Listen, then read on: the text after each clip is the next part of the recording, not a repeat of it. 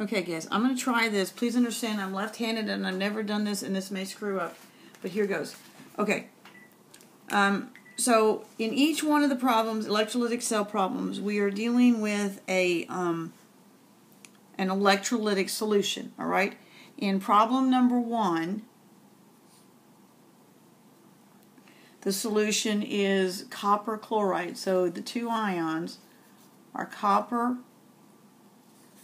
and chloride. Okay, now um, what's going to end up happening with this is that the water, because it's in solution, is also possibly, could be possibly oxidized and um, reduced.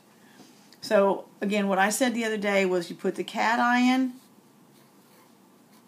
over the cathode you put the anion, which is the chlorine, over the anode. All right. So once you've done this, we know that either the water or the cation are going to be um, reduced, and either the anion or water are going to be oxidized. This is where then you look at this thing, okay? And if you look at the bottom side, which of course the cathode is being reduced. So if it's being reduced, it's an oxidizing agent. So we're looking at it over down at, at this end, okay? And what we're looking for is as long as it is above this line, it will it will oxidize or it will reduce rather than water. Anything down here water reduces instead of those materials. That's that overpotential thing. Okay? So here's your water, which fits right in there for this case. But if you find copper, you'll find that copper is way up. No, it's not that one. It's the next one. Here it is. It's right there. And the value is 3.4 as compared to water's um, basically negative 0 point, and it's like it right at 8.3 here. All right, so you want the most positive one. Well, that would be the copper. So that says that this is going to be responsible for the reduction cat um, reduction half reaction. So what do we do? We write that down. We write Cu 2 plus plus 2E yields Cu and the value is plus 0.34. All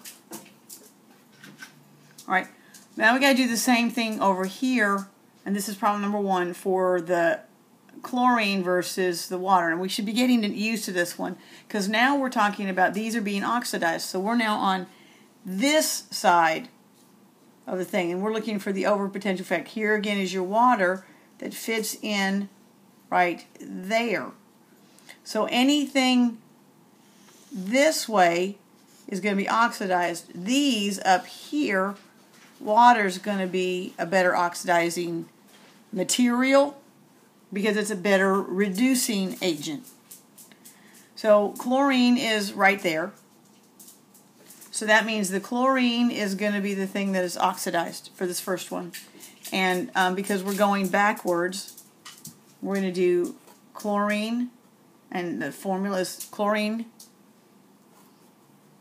um, gets chlorine gas and two electrons. But we've got to go, because we're going the backwards, we've got to go with the negative 1.34, which is the volts. Okay? Um, I think you guys can combine the two of those reactions into a single reaction.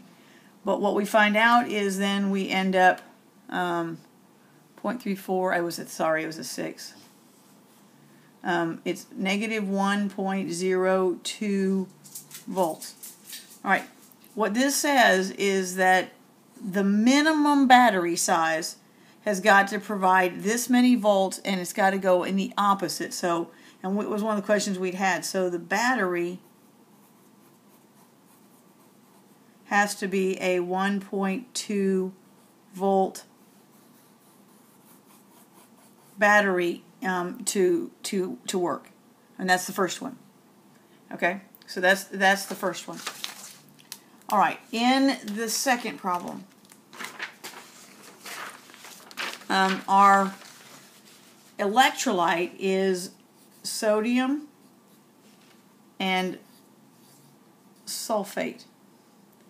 Now, the epiphany that I had is that it's something that I've read about, but I've not really talked to you guys about, is sometimes what we have is a non reacting electrolyte. Now, we don't know that yet, but that's what we're going to find out. This is the basic reaction that is going to be used in a Hofmann apparatus, which would, disti- which would um, do water electrolysis which would mean taking water and breaking it back into hydrogen and oxygen. And I've got the apparatus, and we're going to do it in class.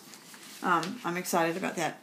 And it's just something I figured out. Okay, so here's this, but again, it's aqueous, so water can be a factor.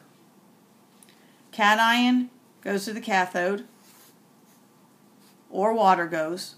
Um, and we have sulfate which is the anion can go to the anode or water goes. We got one of those two things. All right, so now we're going to do the same thing. We're going to look at the the thing. In this particular case, again, we're looking at this side down here for the sodium versus water, but notice there's your water. Again, not here, but there's sodium. So since sodium is below this, we're saying that the water is a really, really weak oxidizer so that means it's going to be reduced. So a weak oxidizer is easily reduced because look, strength of reducing agent over here means that these things are very easily. Um, so anyway, water's water's going to be reduced. So sodium doesn't happen, and water does happen. So the reaction then is that reaction, which is one from. I don't like it. Sorry plus 2E yields H2 gas plus 2 OHs. Now, the one thing that I wasn't sure about is which one of the numbers did we use? Do we use this point ne- negative 41 or do we use the 0.83? And I did some research tonight and we used this regular one because it falls in. So, so it's got a and you wouldn't have known that yet. Negative 0.83. Can you still see that on there? Yep. Okay. All right. Um, so that's what happens at the cathode. At the anode, we're now going to be looking at water and SO4. Um, and SO4, because now we're on this side, okay, because we know that it's being oxidized, which means the, you know, it's a reducing agent because um, a reducing agent is oxidized. So the stronger the reducing agent, all right. Um, anyway, when we look up here, here's sulfate. Sulfate is that thing, it's above this. So again, water is going to be oxidized as compared to any of these things up here. So while it seems weird, water is going to be both oxidized and reduced. Obviously, the H plus is what's being done here when we talk about the reduction. Um, no, that's the reduction. Sorry, the oxidation. The oxidation is going to be the the oxygen. So we've got another water equation, and that water equation here is um, we start again with water, and it's H2O yields one half O2 as a gas plus 2 H pluses plus 2 E's. All right, well, we can't have a half, so let's just double that up. Um, and that is the value of that one is the original value. Where's one point? Where's water up here? Not the overpotential water, but that one. Oh, sorry. Not the overpotential, but the other water right there which is um, plus 1, 3, which is a negative 1.23.